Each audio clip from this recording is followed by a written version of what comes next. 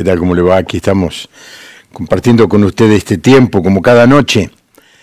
Hoy aquí en la Argentina se ha decretado un día feriado.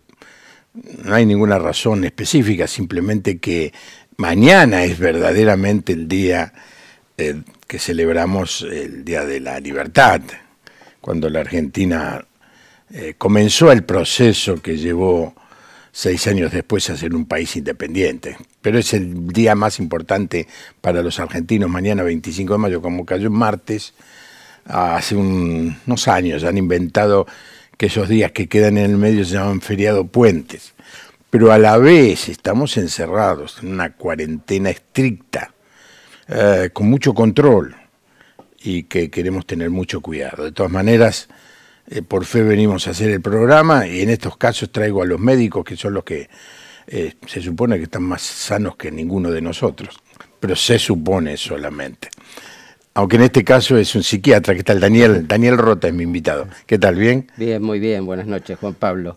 No somos los que estamos sanos, sino los que podemos por lo menos transitar en esta cuarentena estricta. Se nos permite somos esenciales para poder transitar y bueno, pude llegar acá. Sí, sí. ¿Te paró alguien en, la, en el camino? No, no. No, no.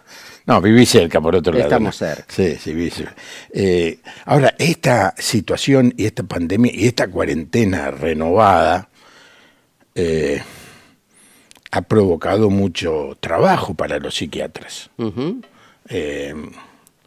Tanto es así que me estabas diciendo que pensás hacer un viaje con toda tu familia, es decir, la cuarentena te, vino muy bien económicamente. Los viajes se han truncado, todos se han truncado. Creo que vos tendrías por ahí planeados. Tantas cosas hemos tenido planeados los argentinos, ¿no es cierto?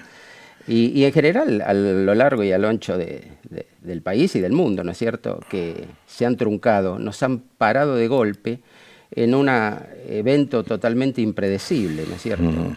Veníamos, veníamos bien, veníamos desde el siglo XXI, el inicio del siglo XXI, como, como mundo, agrandados por todos los descubrimientos y todas las cosas que iban avanzando.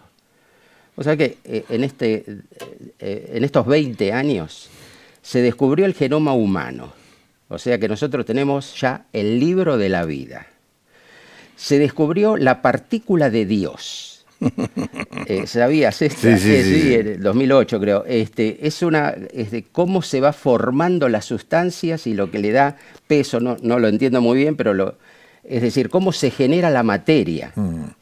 Este, se descubrió agua en Marte, se descubrió la, se desarrolló la nanotecnología, la millonésima parte de un milímetro para poder este, penetrar en la biología, en la medicina, en la técnica y nos creíamos que podíamos todo.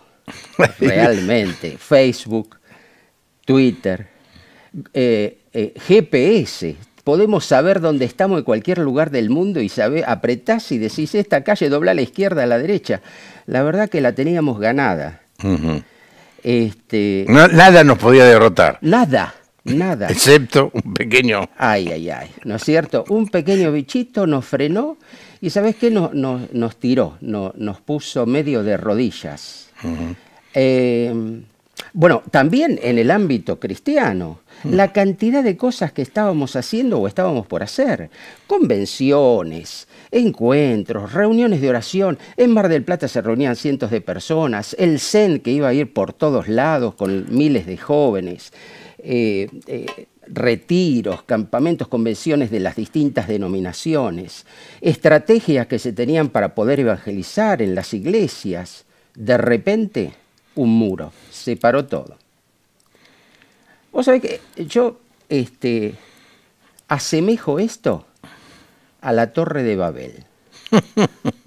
Mira, la primera vez que escucho esto, a ver. Sí, sí, no, porque se me ocurrió mientras estaba, digo, bueno, vengo para acá y eh, no, no lo, tampoco lo leí en ningún lado, ¿eh? es mía.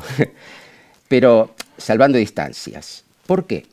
En la Torre de Babel el avance humano era poder llegar hasta lo más alto, hasta lo más encumbrado y, era un avance donde todos estaban puestos y la cosa crecía y, la torre crecía y de alguna manera era el desarrollo y el orgullo de a dónde nosotros podíamos llegar y el control que podíamos llegar a tener de las cosas.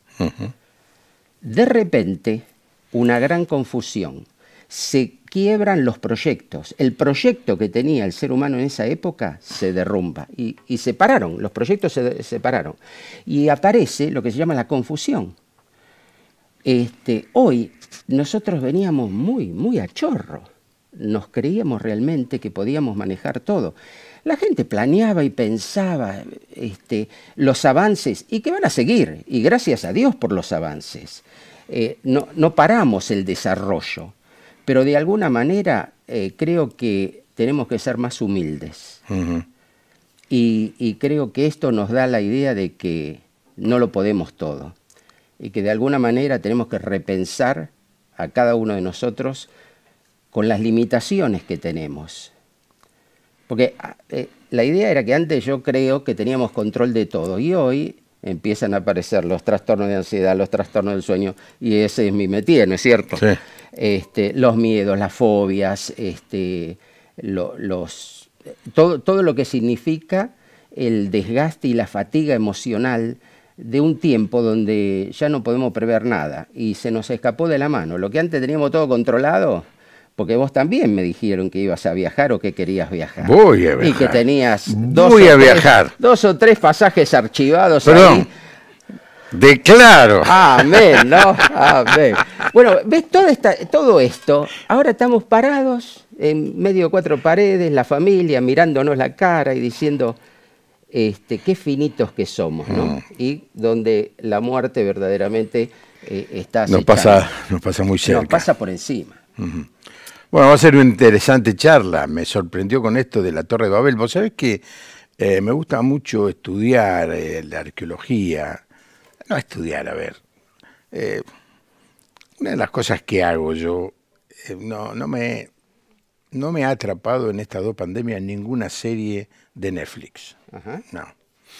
En este fin de semana vi dos películas hermosas, las recomiendo. Unbroken.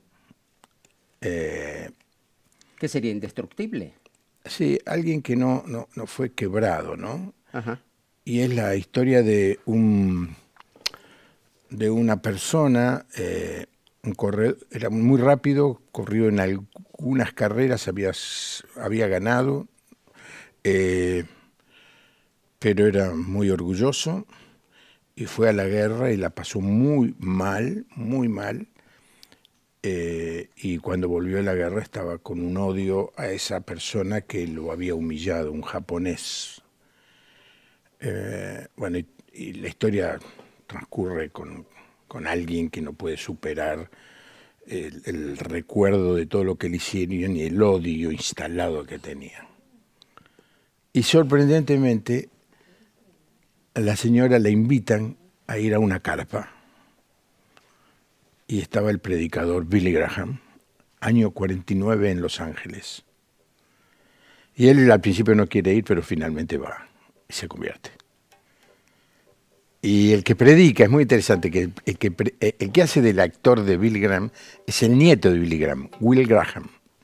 Bueno, que yo he tenido unas charlas muy interesantes alguna vez. Es un, gran predicador, ¿eh? un gran predicador este chico. Eh, y hace de Billy Graham en la, en la, en la carpa esa, eh, mucho más chica de lo que era en realidad, y se convierte. Así que me encantó. Y después la otra película que vi, la recomiendo porque me emocionan a mí. ¿eh? bueno, es, es, el autor de una canción que fue bestseller, ¿cómo se dice? En el top rating del... Sí, bestseller.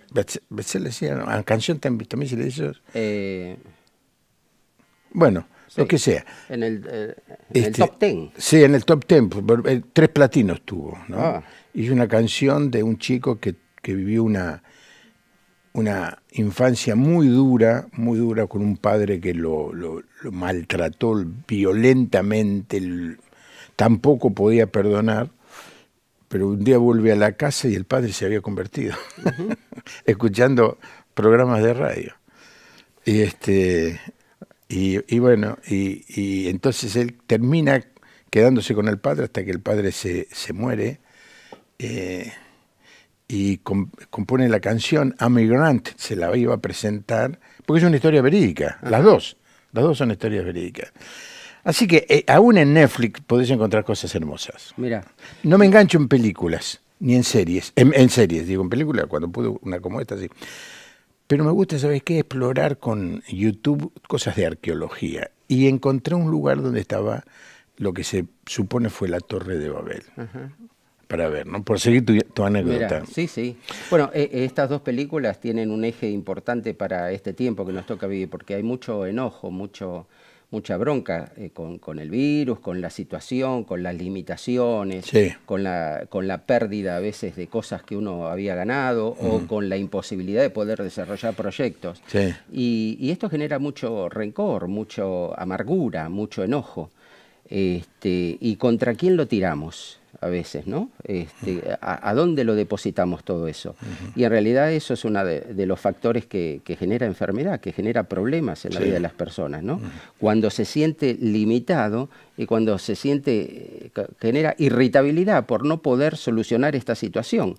este, bueno, este otro hombre que eh, este, había pasado por esto y tenía mucho enojo, mucho resentimiento, y, y el otro también, ¿no? Son patrones que generan enfermedad. Eh, bueno, y cómo poder trabajar con eso, mm. con estas emociones. Ah, en ambos casos eh, eh, no eran creyentes, bueno, después, bueno, tuvieron una experiencia de fe. Pero lo que me sorprende es los mismos, las mismas enfermedades, enojo, rencor, angustia, depresión, temor, en los cristianos, en los creyentes. Y yo sé que vos tenés como clientela un buen sector del mundo evangélico. Y que se supone que nosotros hemos aprendido, como dice Pablo, a vivir por encima de las circunstancias. y, luego dice, voy a predicar, estoy, ya me estoy adelantando, voy a predicar de esto el, próximo domingo, eh, sobre la paz de Dios que sobrepasa, sobrepuja todo entendimiento. Y cuando te encontrás con que la gente no tiene paz, está angustiada. Entonces, es una gran cuestión, una gran pregunta, ¿no? Porque le puede pasar a, cualquiera, pero que nos pase también a los cristianos tan frecuentemente. ¿Cuál, es la respuesta que vos das? Eh, bueno, yo creo que este, hay una... Eh, como que se aflojó la fe en muchos. Eh, parecería que uno pierde, al perder el control, de las circunstancias y de las situaciones y aparecer el temor, la inseguridad, eh, hay gente que no está satisfecha y parecería que el cristiano siempre tiene que estar satisfecho o bien. Y, y empieza esto de decir, Dios tendría que actuar de acuerdo a mi esquema mental, a lo que yo creo que Dios tendría que ser o hacer en determinadas circunstancias. Este, y eh, mira, eh, eh, es un ejemplo bíblico de dos discípulos que iban este, camino a, a Emaús y habían presenciado la muerte de Jesús, a quien habían seguido por un tiempo. Este, y después vieron y, supieron que Jesús había muerto y, vieron esto, esta situación, que había muerto en la cruz aquel quien iba a rescatarlos o iba a redimirlos o iba a liberarlos de un contexto que tenían que era bastante opresor. Venían y dice que venían tristes y enojados, porque venían discutiendo. Este, y yo creo que hay mucho de esto, de enojo por la situación en que se está y de tristeza, porque no esperaba que me pase esto o que pase esto en mi vida, en mi familia, en mi iglesia o como cristiano. Entonces Jesús le dice, ¿por qué están así? ¿Qué, te pasa? ¿Por qué estás así? Y ellos dicen, pero no sabes lo que pasó. Que Jesús, que nos tenía que liberar a nosotros de esta situación, este contexto, que era su realidad, era su contexto, era su presente, nos tenía que liberar de este presente, no lo hizo. Y entonces dice, pero eh, son tontos, necios, el proyecto de Dios, el proyecto de Jesús, es un proyecto que va más allá de los contextos, que tiene una historia y que, y que va a través de la historia. Y ¿cuál era el problema de ellos? Que eran discípulos, porque dice que eran discípulos. ¿Cuál era el problema? El problema es que ellos creían que Jesús tenía que actuar de acuerdo a sus planes. A, lo que consideraban que era lo lógico. No, eran planes personales para mi beneficio. Lo lógico era que esto no pase y que no, no pueda, que el imperio romano no siga siendo el imperio que esté sometiendo al pueblo en ese tiempo. Y creo que hoy pasa lo mismo. Es pensar, ¿por qué Dios eh, permite esto de alguna manera? Y entonces eh, este, no, estamos, no estamos satisfechos. Estamos insatisfechos con lo que Dios nos está permitiendo vivir. y, es complicado. Hay, una canción de, un, cuarteto cuarteto que son uruguayo, que son cinco, pero eh, uruguayo, uruguayo, uruguayo, muy bueno, ¿eh? ¿eh? El cuarteto de Nos, ¿lo conoces? He este, escuchado algunas canciones. Sí, algunas canciones. A mí me gustaría, eh, si se puede y el equipo lo, lo trae, hay, hay una canción que dice Nada me da satisfacción de este conjunto uruguayo. ¿La podemos escuchar? Aunque sea la primera frase. Vayan preparándolo, déjame leer algunos mensajes. Dale. Desde Río Mayo Chubut, muy lindo el programa, Jorgelín y Rubén. Va. Pablo Precioso de California es un amigo, me dice, se me ve más joven. ¿qué, decís a eso? Es, la luz. La luz, sí. sí, sí.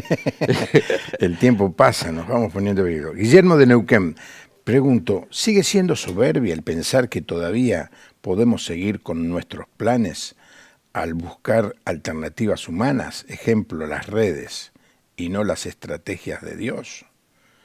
Bueno, es soberbio no querer hacer otra cosa que los planes de Dios, es ponernos a nosotros como Dios, cierto? Eh, el teléfono es el que ustedes conocen, lo repito, especialmente para los que están escuchando este programa por una emisora de radio, no de televisión. Me sorprende que cada vez me entero de que hay más radios transmitiendo este programa. 1127770000. Eso es para los que están en la Argentina. Para los que están fuera de Argentina, más 549 1127770000. Ahora vamos a no vamos a ver al grupo cantando, vamos a ver la letra de la canción, porque Daniel viene a hablarnos de esa canción. Acá estamos, no nos fuimos, ¿eh? No se asuste. Esta es la introducción simplemente. Sí, tarda un poco. Ahí está, es un grupo de rock, de alternativa, muy popular, pero tiene más de 30... Ahí está. Me Nada me motiva ni capta mi atención. No me asombro ya de ningún modo, ni nadie es santo de mi devoción. Busco una sorpresa que me vuele la cabeza, pero por mi naturaleza nada me interesa. Y si se ve, no encuentro en qué creer,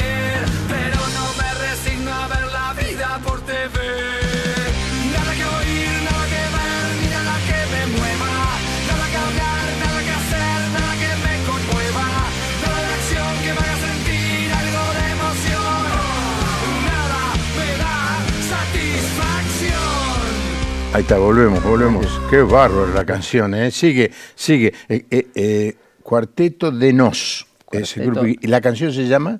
Nada me da satisfacción. Nada me da satisfacción. Y creo que es este el tiempo que vivimos. Mira, esta es una canción para el encierro, para la cuarentena. ¿viste? es así, dice, me aburre. Y vos sabés que hoy los chicos están aburridos. Eh, hay un aburrimiento en, en, la rutina, en encontrarnos, en no poder encontrar satisfacción en, en, en las cosas que hacemos, en lo cotidiano. Eh, otra de, las cosas que dice es, este, yo no puedo vivir pendiente de la pantalla, ¿no es cierto? Este, no, me resigno a ver la vida por TV. Y una, una señora se había, este, había visto durante todo este año de cuarentena todas las series de Netflix, pegada a la pantalla y dice, yo ya me las vi todas y ahora se anotó en otro en otro una plataforma plataforma para poder ver otro tipo otra, otras películas este ¿qué, estamos llenando de alguna manera la cabeza, ¿no es cierto? Y entonces dice, nada me motiva, y hoy hay falta de motivación, la gente está aturdida. ¿Y, dónde encontramos satisfacción? Este, parecería que la satisfacción no pasa en una buena comida, porque al poco tiempo vos volvés a tener hambre de nuevo, ¿no? Sí. Este, o sea, la satisfacción no pasa porque podamos tener eh, comodidad o confort. o podemos estar, y algunos no, pero otros sí, podemos estar en una casa ahora con cierta calefacción, con ciertos beneficios, que eh, todo hubo avance en este sentido, pero sin embargo... Bueno, pero digamos que hay mucha gente que no tiene eso. Hay mucha gente que ni siquiera lo tiene pero ¿en qué encontramos satisfacción? Porque la gente que tiene... yo creo que, la disfruta. No. No lo sabe. No, es decir, uno tiene, pero lo que tiene no alcanza porque después, ¿qué es lo que necesito tener? Y en este contexto, parece que nada de lo que uno tiene genera bienestar o genera satisfacción. ¿Y dónde encontramos entonces? ¿Cuál es, ¿Cuál es la clave para decir en este contexto dónde uno puede sentirse satisfecho? Dónde uno puede sentirse bien. Y esto es una, eh, música interesante, ¿no es cierto? Este, eh, no me resigno, nada que oír, nada que ver, nada que hacer, nada que me conmueva, ¿no? Eh, ¿Cuántas veces escuchaste la palabra muertos en esta semana? ¿Cuántas veces? Sin embargo, ya no nos conmueve. Esto es un bombardeo que nos anestesia y no nos da satisfacción. ¿Dónde, dónde poder encontrar? Eh, ¿Dónde poder apoyarse? ¿Dónde poder sentir que este, estamos mejor y que podemos sobrellevar todo esto y seguir para adelante? Es una pregunta. Tremendo. Daniel, eh, me imagino que mucha gente viene con, eh, con la capacidad de explicar lo que le pasa, lo que siente, pero no la, el origen, la raíz a tu consultorio. Esa sensación, como que esta gente, la, esta canción la describe muy bien, ¿no? No, no, no. Me aburre todo. En algún, en algún lugar de la segunda parte de la canción dice, me aburre aburrirme. Sí. Me aburre, me aburre todo. Es decir, nada me llama la atención, nada me hace sentir diferente, feliz. ¿Y, ¿Y, de dónde viene ese origen? Eh, alguien viene a tu consultorio te expresa que tiene esa sensación, ¿y vos qué le decís? Le das una pastilla. Bueno, mucho se calma con pastillas. El trastorno del sueño se calma, se calma con hipnóticos, la ansiedad se calma con ansiolíticos. Pero este, lo que pasa es que la insatisfacción quita la alegría. Sí. La, insatisfacción eh, enferma. La, la insatisfacción a veces irrita, este, a veces eh, genera tensión, en la familia genera tensión. Y hoy encontramos eh, un aumento de, divorcios, hoy encontramos un aumento de violencia familiar. Hoy encontramos este, a veces maltrato en los chicos, pero hay una irritación porque no hay, no hay algo que nos satisfaga y que nos haga sentir bien. Y entonces hay una grieta y creo que la grieta en este contexto está entre lo que tengo y lo que quiero. Mm. Y uno puede llegar a tener más, pero sin embargo no alcanza a satisfacer algo que yo quiero y que va más allá del, del, contexto, del entorno, de las pertenencias.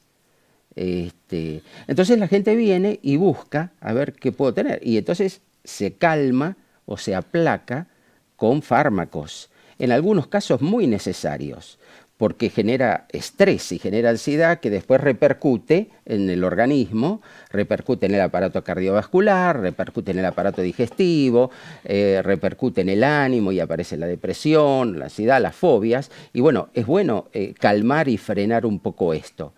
Eh, pero todo pasa por algo un poco más allá, ¿no es cierto? hablábamos, vos sabés que este, dentro de los avances que hubo en la ciencia, es la reformulación de, la neurona, la reprogramación neuronal. Y esto se puede hacer. O sea, uno puede sobre una, sobre una célula borrar la memoria de esa célula y reprogramarla para que sea otra célula, una célula totalmente distinta y nueva. Se llama reprogramación celular. Esto fue el avance de estos últimos 20 años. O sea que podemos reprogramar células, podemos cambiar las células de... Vos sabés que las células de la piel en un mes se cambian, las de, las de adentro se van eh, llevando para afuera. O sea, cambiamos tantas cosas, pero no, no cambiamos a veces lo más importante que es nuestro disco rígido, nuestra forma de pensar. Eh, no podemos llegar a satisfacernos más allá de un montón de cosas que sí podemos cambiar. Podemos hasta cambiar neuronas, pero no podemos cambiar muchas veces la forma de ver la realidad y la forma de mirar las cosas. Estamos mirando más el vaso vacío que el vaso lleno. Estamos mirando más cómo eh, contentarnos y con qué y nada nos satisface. Lo que decía la canción, nada. Eh, no encuentro satisfacción. ¿Y en qué? ¿En dónde me apoyo? O sea que podemos reprogramar un montón de cosas, pero no reprogramamos nuestra forma de pensar, nuestra forma de, observar, nuestra forma de analizar, nuestra forma de interpretar nuestra propia realidad. Entonces, ahí hay una tensión grande entre lo que uno quiere, entre lo que uno necesita y lo que realmente nos está pasando por la cabeza. Ahora, eh, si alguien viene a tu consultorio y tiene un problema cardiológico, eh, no puede hacer nada, lo tiene. Salgo del cardiológico porque hay muchas. Voy a uno, un cáncer, viene y tiene cáncer. No sé, yo sé por qué tengo cáncer. Tiene que ir al médico, al oncólogo y ver cómo, cómo puede superar la situación o, o sobrevivir a esa situación. Pero en el caso de las enfermedades mentales, vivir con insatisfacción, con que nada te venga bien, por más que tengas todos, te seguís sintiendo insatisfecho. ¿Es una enfermedad o hay una manera de vivir una vida por encima de esa circunstancia? Porque todos tenemos escasez de algo, que yo, eh, nos gustaría ahora poder viajar, no podemos. Eh, me gustaría, qué este, tener una... No, la verdad que estoy tan contento con las cosas que tengo que ahora te tengo que inventar algo que me falta. Este, pero siempre nos falta algo, siempre... Y hay gente que eso que le falta le cambia la vida, le cambia el humor, le cambia su manera de ver la realidad, pierde la felicidad, pierde la paz. Por eso dice, por nada estéis afanosos. Yo le quiero preguntar a la audiencia, ¿qué es lo que los tiene atrapado usted? ¿Qué le ha hecho perder su paz, la paz interior, esa sensación de quietud, tranquilidad, esa sensación de satisfacción? ¿Qué le ha hecho perder la alegría? Cada vez se encuentra más y más encerrado en sí mismo, y le cuesta tener momentos de felicidad yo creo que este programa, el doctor Daniel Rota nos va a ayudar a encontrar no la solución mágica, magia no, ¿no? Magia no. Magia no existe. Ah, hay milagros, magia no. Exacto, pero sí, sí un camino a recorrer que nos permita recuperar la salud espiritual. Bueno, vos mencionaste una frase, por nada estéis afanosos o preocupados. Es una frase de, Pablo, el apóstol Pablo. O sea que el apóstol Pablo eh, es una persona que él dice, yo encontré el secreto para vivir bien. Bien. Para vivir bien. Y sabes que esto, esto, yo encontré el secreto para vivir bien, se lo escribe, ¿no es cierto? Eh, lo escribe en una carta, lo envía. ¿Y sabes de dónde envía esa carta? De la cárcel. Él estaba en la cárcel y dice, mire, yo tengo el secreto para vivir bien en cualquier circunstancia. Y entonces, y uno va diciendo, bueno, ¿cuál es el secreto? Parece que estaba satisfecho, estaba contento, estaba bien, no, tenía preocupaciones y estaba, estaba en la cárcel. Nosotros estamos casi en una cárcel, ¿no? Porque este, no podemos salir, no podemos salir. Este, y si salís y no tenés permiso, hasta te sacan el coche, ¿no es cierto? Este, pero lógicamente, porque de alguna manera lo que nos encierra es el virus, no es otra cosa. Este, pero bueno, él estaba en una cárcel física, real, dice, yo tengo el secreto. Y uno dice, bueno, ¿cuál es ese secreto? No? Él estaba satisfecho. Entonces, lo primero que él dice es, eh, yo creo en Dios. Lo primero, ¿no? Yo creo en Dios. ¿Alcanza? Bueno, él era una persona amargada, de una bronca contra un grupo de gente, iba, los perseguía, era una persona eh, que tenía cierto encono contra un grupo de, gente que, bueno, eran los cristianos en ese momento, este, y, estaba mal por eso.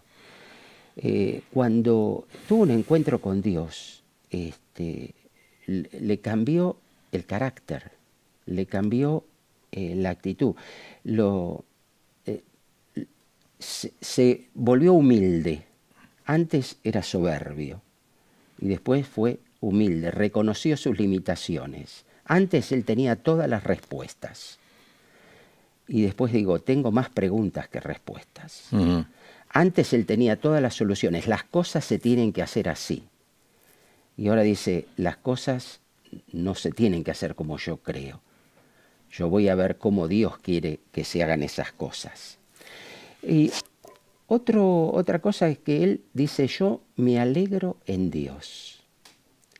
Porque yo me alegro de que Dios exista, de que yo lo conozca y de que Él sea un Dios grande que está en control. Él sigue estando en control. Entonces, Pablo estaba satisfecho porque decía, más allá de que yo estoy en la cárcel, Dios está en control. Dios sabe y yo estoy satisfecho por esto, porque Dios sabe y lo permite. Otra de las cosas que hacía Pablo es que no se comparaba, este, no miraba a ver qué le pasa al otro, esto, el otro. Sabía cuál era su valor personal. Y, una de las cosas que no nos deja estar satisfechos es mirar, pucha, aquel puede, este se hizo esto, mira, aquel le llegó la vacuna, aquel pudo comprar esto, o aquel esto, o el, o el otro.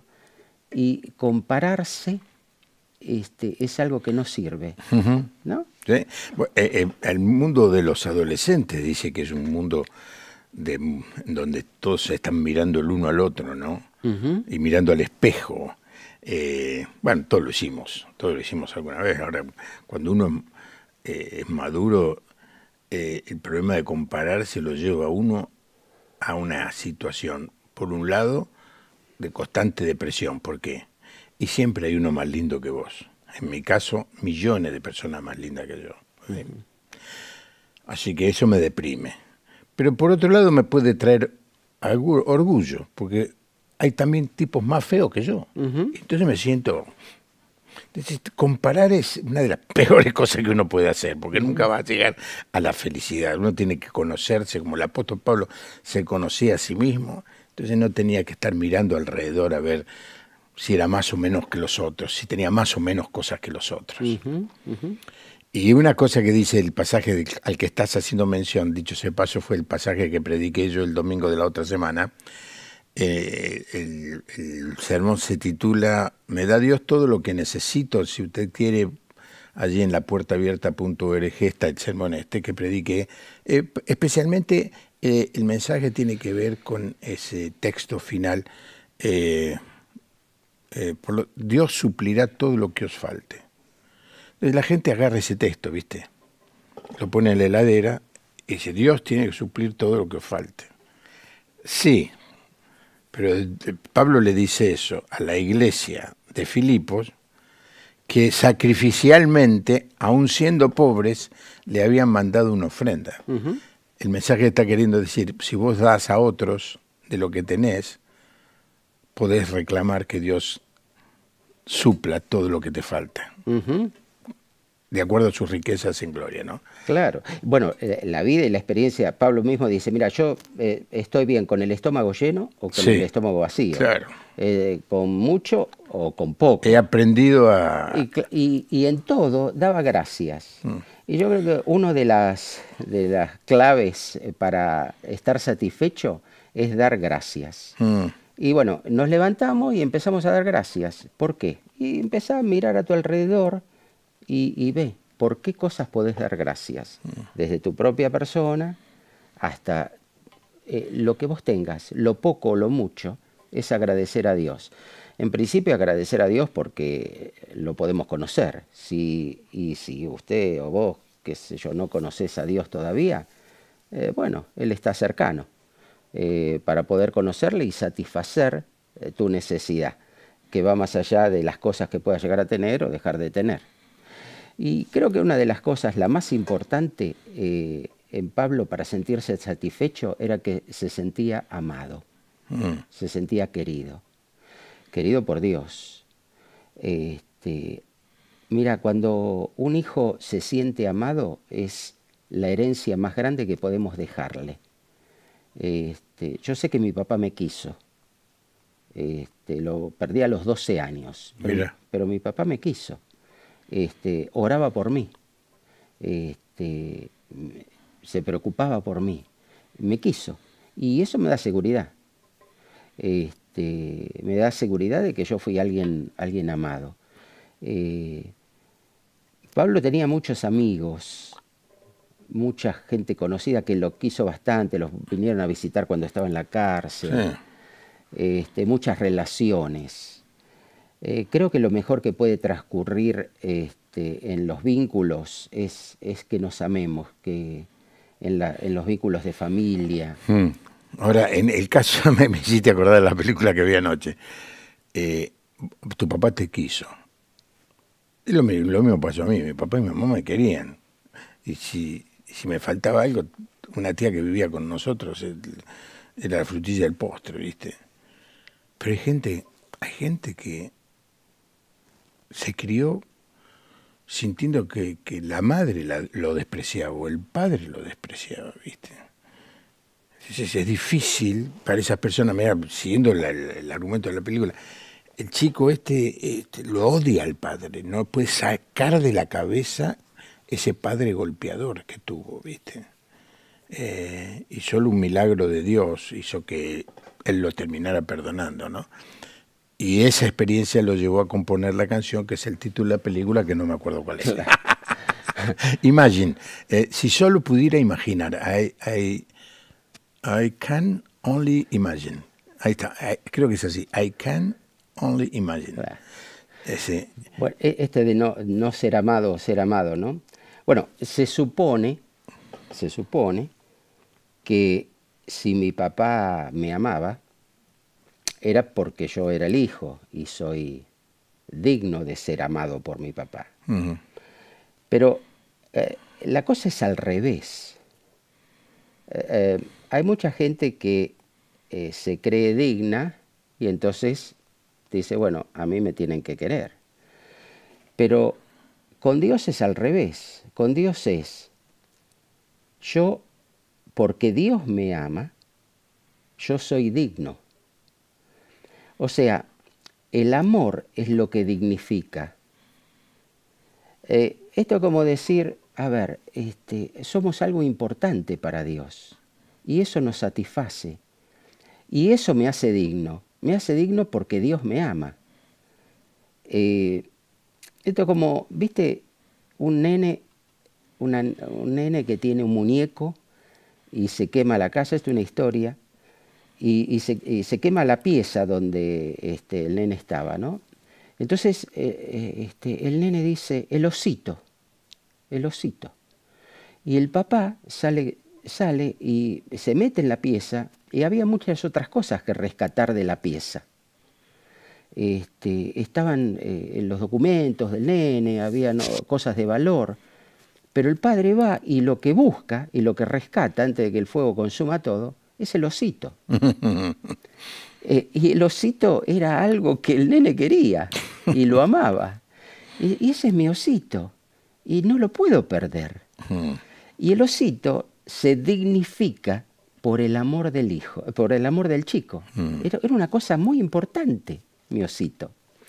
Y nosotros somos muy importantes, no porque valgamos más que otros, ni porque seamos mejores, ni porque seamos más dignos, ni porque yo me crea qué sé yo qué, eh, por eso Dios me ama. No, nosotros somos, somos delante de Dios insignificantes, todos somos, eh, cometemos errores, tenemos debilidades. Y yo creo que este contexto, el contexto de pandemia, nos muestra que somos débiles, que somos frágiles. Y eso es bueno.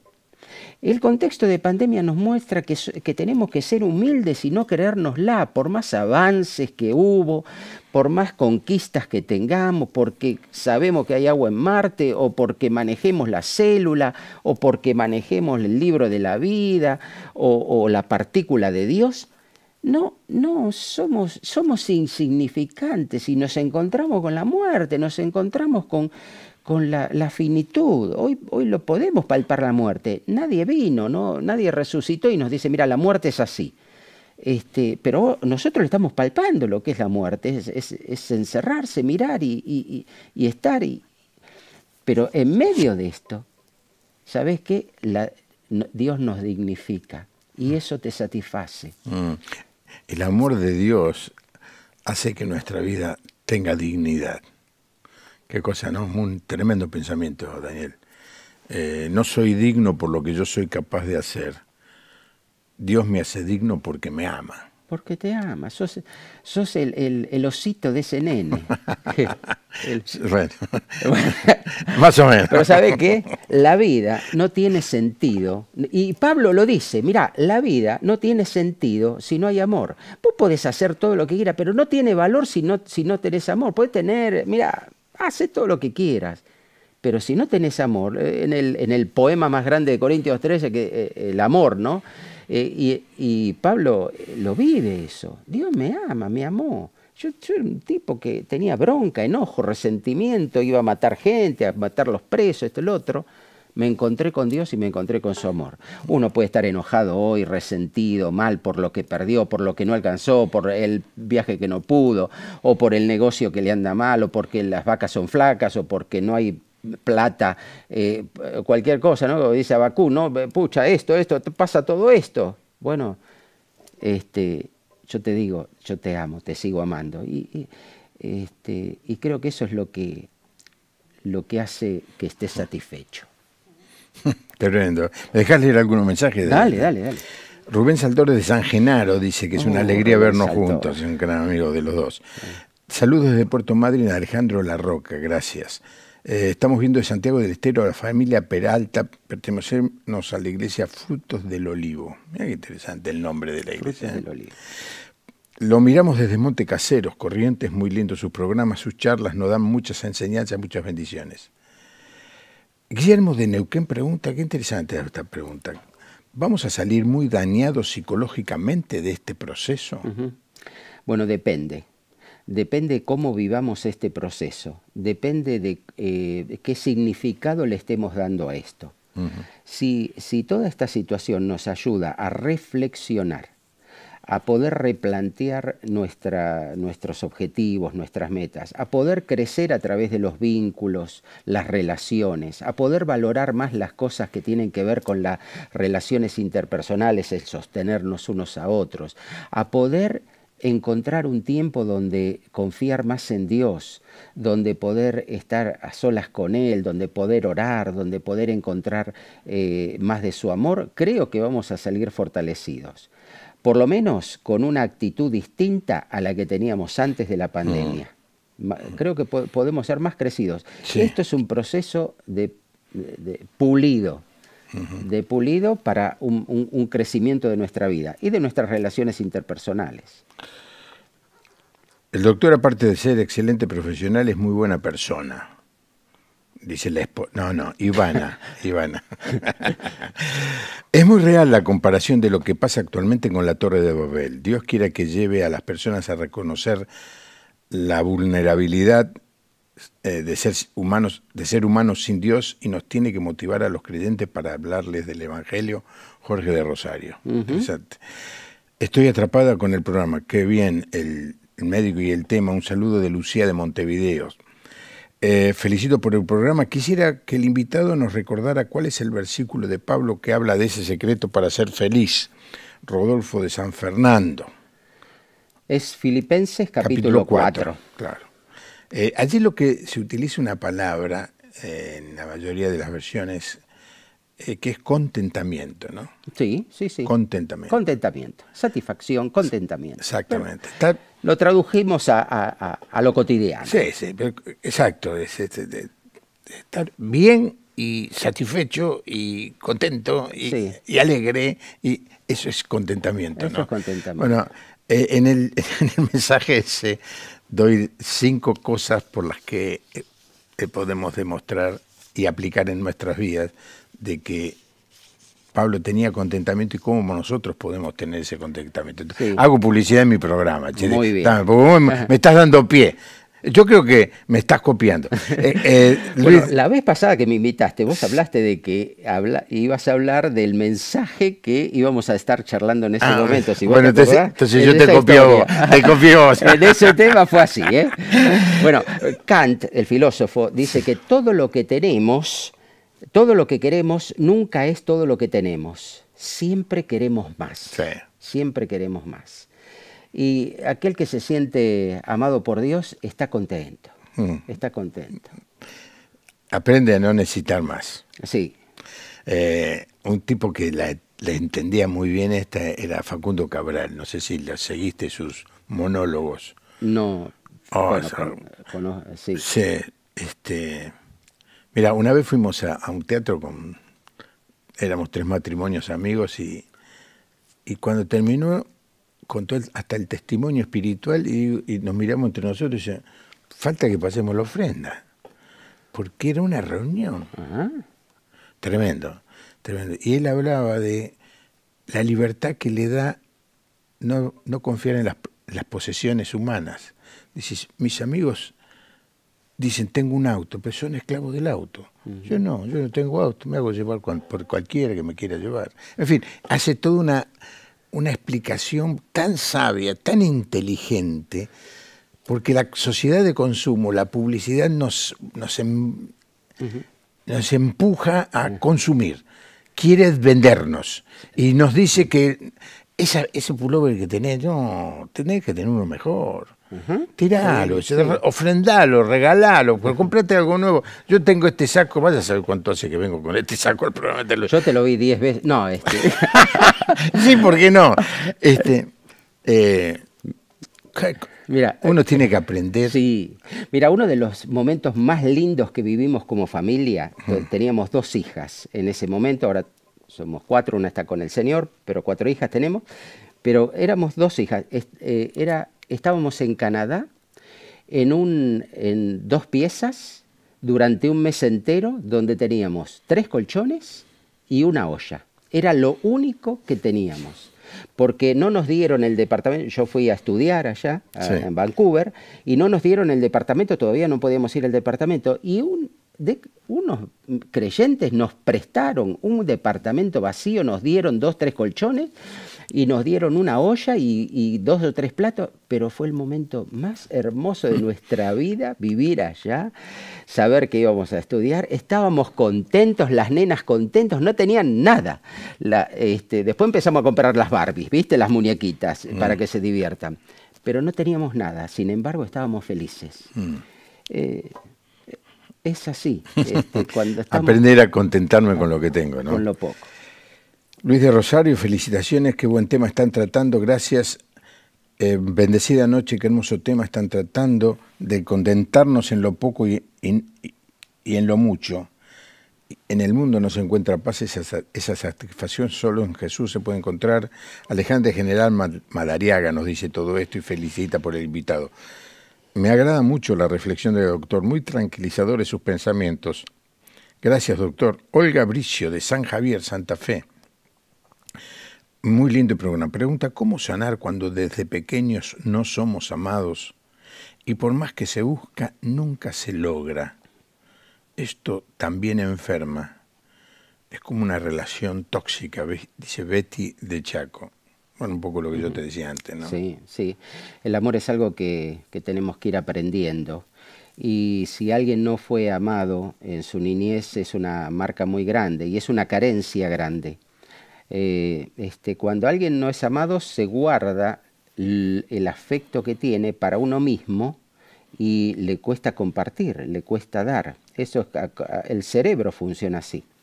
Es como, creo que una vez lo, lo, comenté esto, no sé si acá o en otro lado, pero es como aquel que quiere adelgazar y el cerebro sabe de que no va a, recibir comida, alimento o glucosa, porque la persona se le ocurrió hacer una dieta de un día entero sin comer.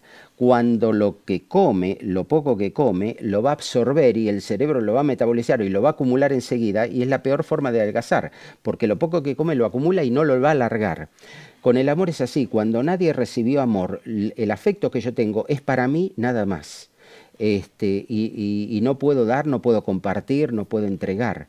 este, y, esto genera personas o egoístas o individualistas o aquellos que no tienen un afecto natural. Ahora, cuando eh, como el amor se aprende con otro modelaje, este, puede, empiezan a aparecer otros vínculos y cuando empezamos a recibir amor de otras personas, amistades, otros, otros eh, personas cercanas y después poder recibir el amor de Dios, esto ya nos nutre, nos da una fuente para nosotros poder después empezar a sentirnos seguros con el amor de Dios y empezar a poder hasta dar a otros y compartir con otros. Mm. Me deja que diga, le diga algo más a Betty de Chaco. Quien haya vivido una situación así, eh, posiblemente también guarde cierta dosis de enojo y de rencor. El mejor consejo que le podemos dar a estas personas es perdonar. Sin perdón es difícil sanarse. ¿Y cómo voy a perdonar? No tengo ganas de perdonar, no puedo perdonar. Y el texto bíblico dice tenemos que perdonar, no porque la otra persona lo merezca o porque la otra persona nos pida perdón o porque la otra persona haya cambiado de manera de actuar. Es muy posible que esa otra persona ya se haya muerto. La Biblia nos dice que tenemos que perdonar como Dios nos perdonó a nosotros en Cristo. Es decir, yo cuando yo tengo algo con una persona y no la quiero perdonar, digo, momento, Dios me perdonó mucho más que esto. Yo tengo que aprender a perdonar como Dios me perdonó a mí. Mm. Y, sé que es un tema muy difícil y eh, vos sabés, cada vez que yo hablo doy un mensaje sobre el perdón o alguna vez lo he hecho también aquí en el programa de televisión, es uno de los mensajes que más la gente busca escuchar. ¿Cómo hago para perdonar? Y pedirle al Señor que te dé las fuerzas de perdonar y recordar todos los días cuando te levantas que vos sos un ejemplo de perdón, que Dios te perdonó, que vos no lo merecías aunque no ni siquiera tu vida haya cambiado mucho, te perdonó porque te ama y porque Jesucristo quiere entrar en tu vida y quiere salvarte. Sí, con el tema del perdón es muy duro porque hay situaciones que dañan, pero hay situaciones que, que destruyen. Y perdonar algo que produjo una destrucción. Sí es, muy duro, es muy difícil. Ahora, eh, el, único que puede eh, reconstruir sobre la nada es Dios. Porque eh, nosotros reconstruimos sobre lo que está y vamos trabajando para que se mejore, se alivie, se sane este, los vínculos, las relaciones o la mente. Eh, pero construir sobre la nada, que es crear, eh, que es crear una cosa que no está. Dios es un Dios creador. Y Dios puede crear el perdón, porque Él es amor y en ese amor nos perdonó. Y cuando uno recibe primero el amor de Dios, ahí recién se da cuenta de que puede llegar a, perdonar, pero primero tiene que recibir. Tiene que recibir. Sí no se puede perdonar algo que destruyó. No se puede perdonar. Pero esta capacidad este, creativa, porque hay capacidades reconstructivas, pero hay capacidades creativas. Y el único que tiene una capacidad creativa de crear de la nada algo, ese es Dios. Y, va a crear un, nuevo corazón. Por eso, dame tu corazón y yo te lo doy eh, te, lo doy distinto. Este, va a crear una nueva mente. dame tu mente, eh, eh, este, porque yo te doy la mente de Cristo, una mente distinta. Este, va, a regenerar lo que no está. Este, e, esa es la capacidad que tiene Dios. es, un Dios creativo. Y está al alcance, al alcance de cualquiera que quiera vivir esta experiencia. Algunas veces terminamos el programa diciéndole, haga una oración, vaya a un lugar secreto, un lugar donde usted esté solo y dígale a Dios, Señor, necesito conocerte, necesito que entres en mi vida, necesito que me salves, necesito que me perdones, que hagas tu tarea no de reconstrucción, sino de una nueva creación. Dios no nos emparcha, nos hace nuevos. Hacelo en mi vida, decíselo con tus palabras. No hace falta que tengas que ir a una iglesia, no hace falta que, ni siquiera que se escuche tu voz. Si lo decís con tu corazón, el milagro va a suceder. Lo he visto en millones de personas. Bueno, yo no en millones, es una exageración. Lo he visto en muchísimas personas pero es una realidad en millones de personas que no encontraban satisfacción, que fue el tema de, la noche de hoy. No encontraban paz, no encontraban alegría, se sentían perdidos, hasta que encontraron el amor de Dios y aceptaron a Jesucristo. ¿Por qué no lo haces en esta noche? Este es el momento. Quizá en el momento más difícil como país, lo más extraordinario que suceda es que vos, tu vida, empiece de nuevo. Déjalo a Dios actuar. Gracias, Daniel. Gracias a ustedes. Que tengan una buena noche. Nos encontramos aquí mañana. Amén.